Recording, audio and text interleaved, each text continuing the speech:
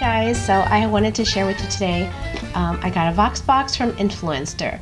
If you're not familiar with Influenster, it's just um, a site that you can join and you can um, review, get a chance to have products sent to you so that you can review them, share them on your social media.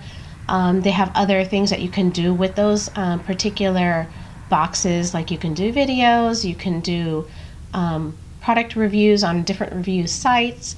Um, there's different things that you can do. However, um, I was lucky enough to get into this one here. This is called the Amuse Boucher. I don't, I don't know how you say this, um, by Bite Beauty. Um, and let me go ahead and open the box to show you what I got inside. Well, I can give you a hint.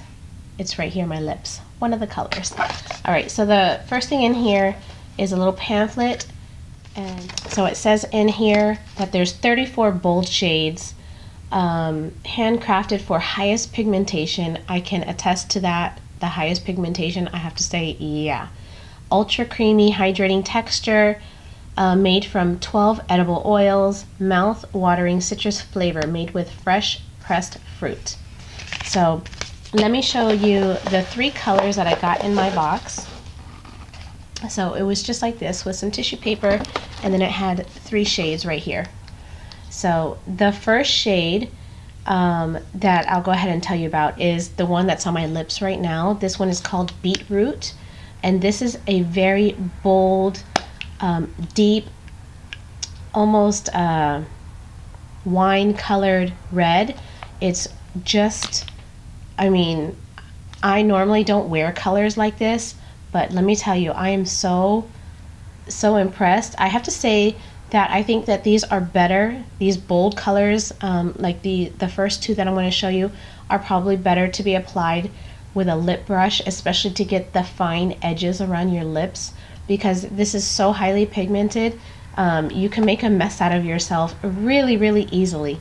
But um, this is very beautiful. They're very hydrating. They are very, very creamy. Um, and I'm very impressed with how it looks. And it doesn't make your teeth look yellow, it makes your teeth bright and white. And I really like that. The next one I'm going to show you here is um, Gazpacho. Gazpacho is the brightest, boldest red. And again, this one here, the one right here, it's not going to make you look like you have yellow teeth. I guess it's like a, a blue based red and your teeth look nice and bright and, and white. And the last one here is called Pepper. Um, I really love Pepper. Pepper's one that I can wear every day out and about and I think it's just lovely. It's quite, quite beautiful. So here's a close-up of all the shades. Again, the first one right here is Beetroot and that's what they look like right there. And these, um, they have like a little imprint right there, if you can see it. On each one of the lipsticks, there's like a little imprint there. And this one again, Gazpacho.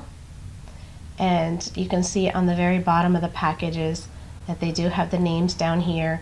Um, they're very nice packaging. They're almost almost rubberized packaging. I really like that. And I love the way the shape of this is. They're easy to grip and the texture is really nice. And again, the last one right here um, this one is called Pepper.